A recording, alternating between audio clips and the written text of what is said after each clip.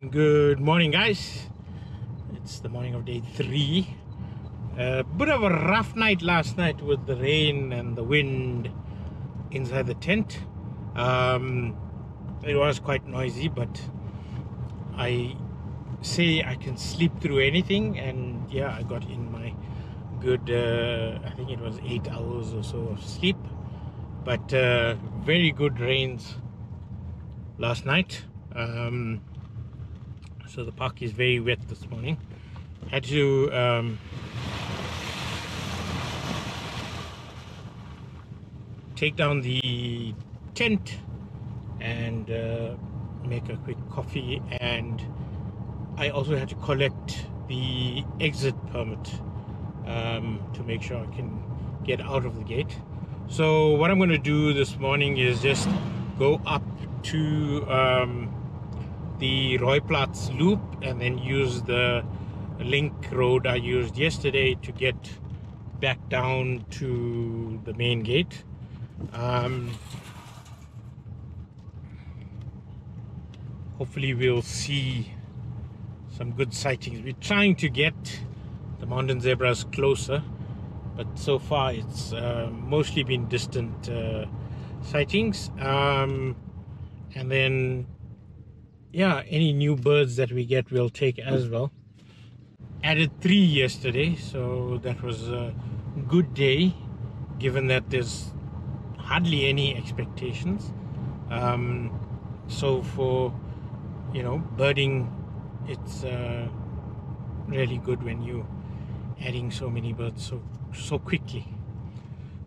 Okay cool. Gonna concentrate on the driving and the birding and the sightings um, and we'll check in as we go through the day. Once I leave the park, uh, then I've got a four hour drive almost to. Hello, guys. Bye. Hi, Richard. Cheers. So, those were um, two of the um, other guests who actually watched uh, my Lion's Head video. So Hans and his uh, wife from Netherlands, shout out if you see this, please comment.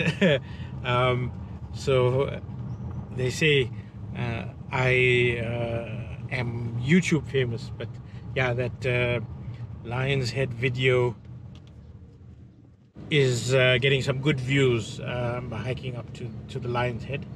Um, so yeah, I was I was saying um, I have uh, a four-hour drive um, via Port Elizabeth to Nature's Valley. Um, I think the plans for this afternoon is to check in and then see if I can't get into the Nature's Valley town itself. Uh, the beach is very nice um, there. I dunked my drone in the water the last time I was there. So um, hopefully I don't do it again. But yeah, uh, nice morning drive ahead and then a little bit of a long transit to get to the next uh, overnight stop.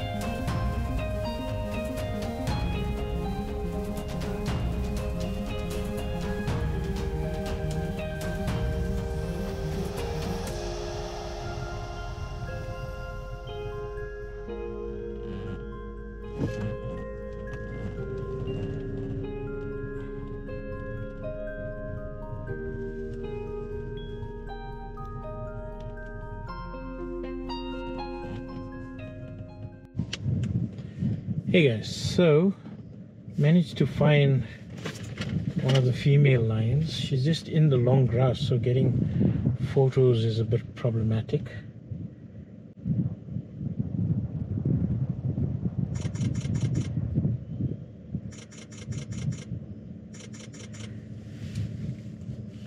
But a good sighting nonetheless. So we did find the lions after all.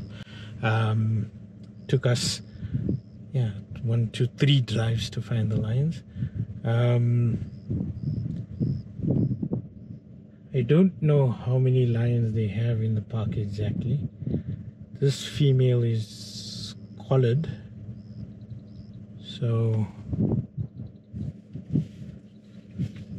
I'm not sure why she's alone as well. Unless it's a young male.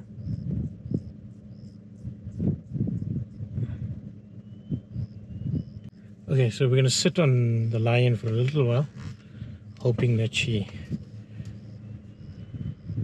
or he wakes up and moves a little. Okay guys, so the female is not alone. There's actually two other lions with her. Oh, there's actually a few more here as well. Um, so it looks like the whole pride is here. Unfortunately, they are flat cats. So the males here could possibly have the black mane, manes like the Kalahari lions because um, they sometimes bring them through from the Kalahari. Um, okay, I'm gonna go back and see if I can't see them again but it's a very difficult sighting because they're all flat and it's cold so there's probably no reason for them to move around. I wore the right shirt for the day today at least. I don't know if you can see that in the video. Alright let me turn around and see if I can't see them again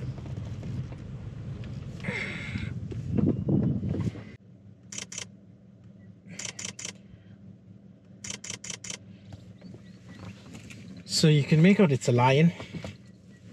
They're in the bush. But other than that, they're very sleepy cats.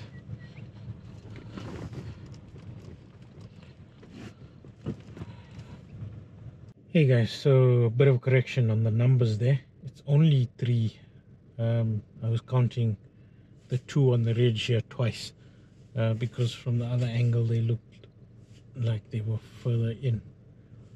So three females. I think all of them collared. So it does spoil the photos a little bit.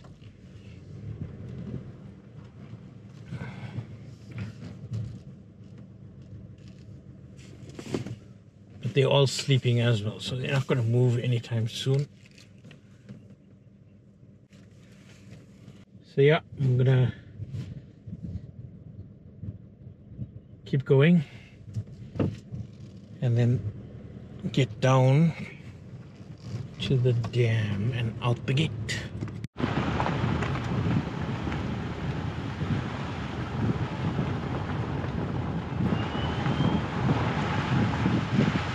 Hey guys, so I'm sitting with the window open, wind blowing in, so it's a bit cold. Should have carried a jacket. Um, new uh, bird uh, to add to the list common uh, quail. So I flushed a few when I was driving past so I saw their backs and then I sat and I um, listened for a little while and heard them calling. So they've got a very um, quick uh, I think it's a whoop whoop whoop woot woot woot woot woot call. Uh, that's what it is in the book. So yeah uh, one more to add to the list. And another new one large bull lark. So I think that makes it five um, confirmed new ones with possible one or two extra after audits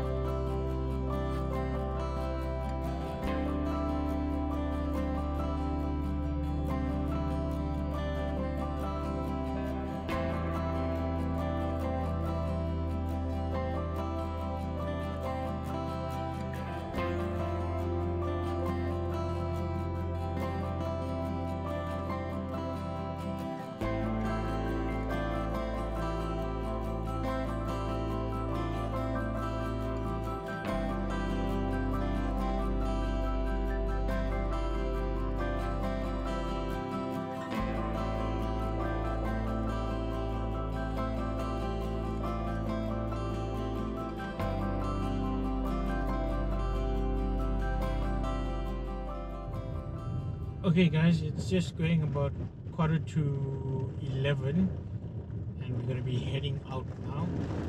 We'll stop in Cradock, refuel, and then it's a four hour drive from from there to the Nature's Valley camp. So it gets us in Nature's Valley at around 3 o'clock this afternoon. Just after 3 o'clock. Half past 3 by my GPS. Um, so yeah, we're gonna take it easy and then uh, try and get there. Hopefully the weather's a bit better there. Hey guys, so my pie woes continue. Um, stopped and there's only prime steak pies or pepper steak, I'm not too sure. Prime rib or pepper steak, one of the two. Uh, but anyway, we are refueled and we are off towards Port Elizabeth, just going through Cradock at the moment, small town in Eastern Cape. Um, maybe we'll catch a pie at one of the other rest stops along the way. Turn right. Then, turn left.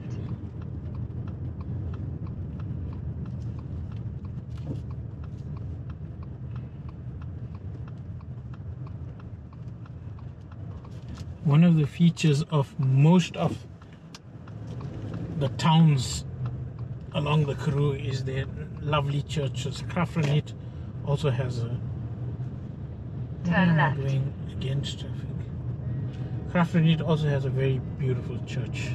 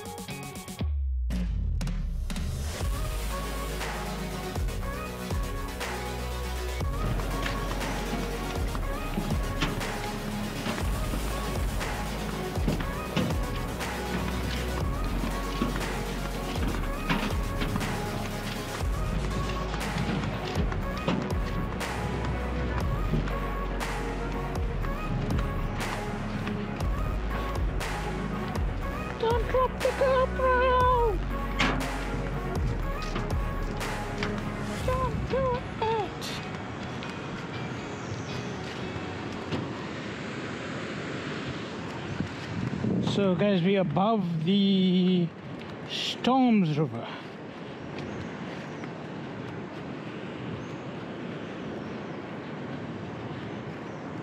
I think the Storms River is the start if I'm not mistaken, is the start of the Otter Trail.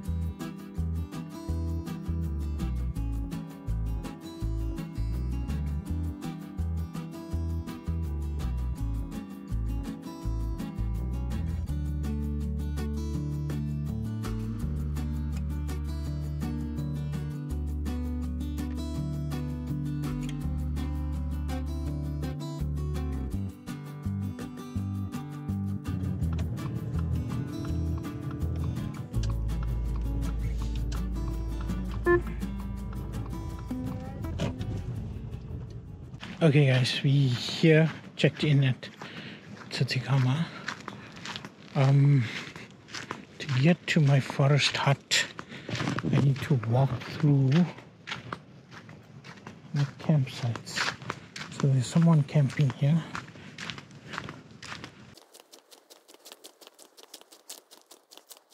Okay, that's forest hut one.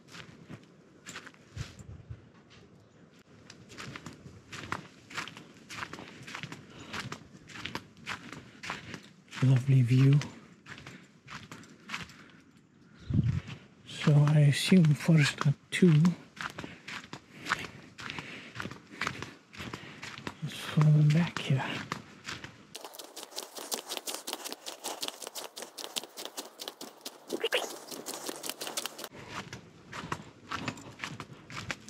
Yeah, this is forest hut two. So I was directed wrong.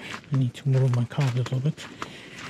I was told 43 would be the entrance, but it's actually not 43. Look at this view. It's quite awesome. Chairs are full of water.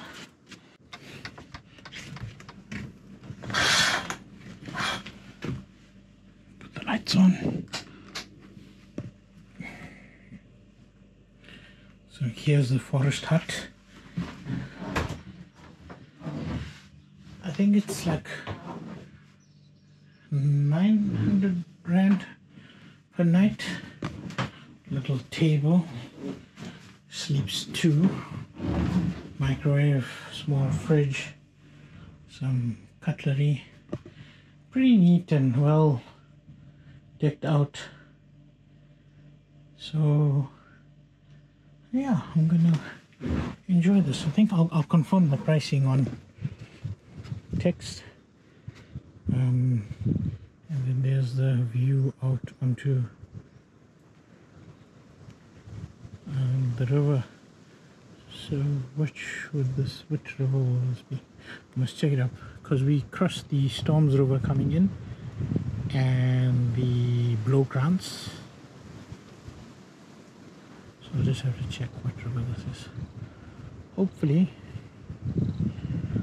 camp is also good for some birding all right i'll get my stuff and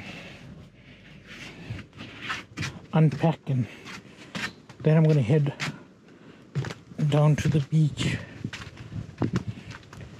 Maybe i should leave the beach for tomorrow morning.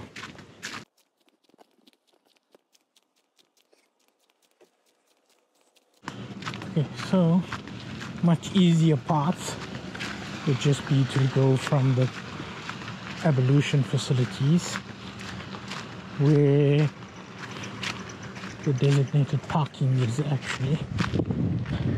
So here's the parking for Hut 1 and 2. Uh, I think I'll actually just pull in here to 42 for now.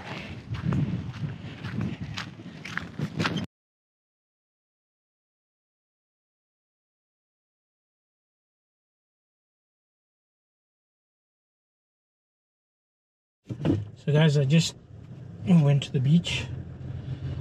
Sun is set now. Um, so I just wanted to show you all basically Nature's Valley. So I was right down. sorry, I didn't get my seatbelt. So I was right down on the western end of um, uh, the town uh, this is uh, St. Michael Avenue that we're on now. So basically there's almost two main roads that run east to west and then a few roads that run between those two perpendicular to those two um, so you can get across the two roads and uh, it's about a I'd say about a two kilometer stretch from one one end of the town to the other end of the town so you just go down St. Michael's Avenue and that's the beach road and go all the way to the end. There's a little beach bar at the end that serves pizza and uh, refreshments and ice cream and stuff like that. Um, but lovely views on the beach itself. Uh, so they do say um, they have uh, African penguins that nest on the beach. Um, jackass penguins as they were formerly known as because of the sound they make which is a braying sound. Um,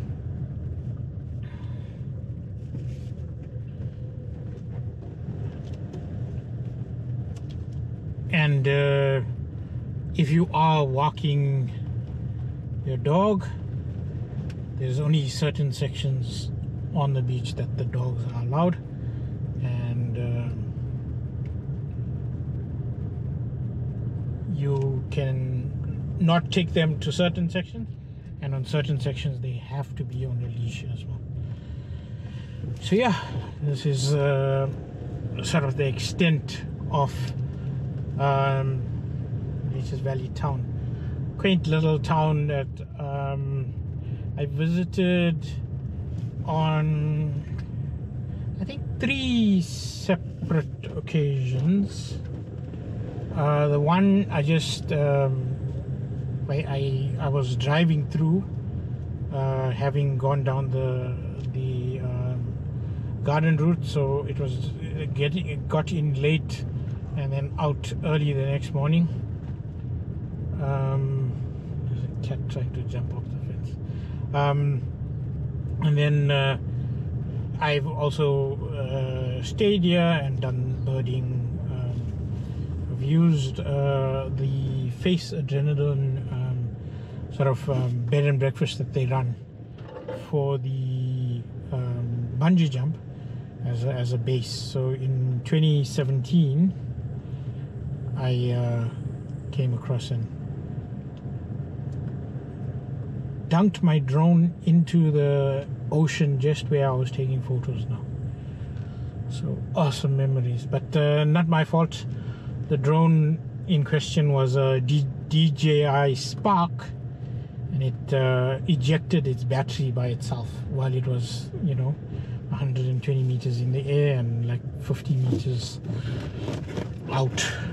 So there's no chance of catching it. So, yeah, we almost uh, out of the town now, so we're heading inland again. And that's sort of the full extent of Nature's Valley.